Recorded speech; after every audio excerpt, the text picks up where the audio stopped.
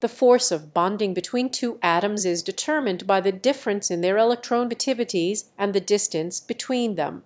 The stronger the electronegativity difference the stronger the bond; the closer the atoms are the stronger the bond.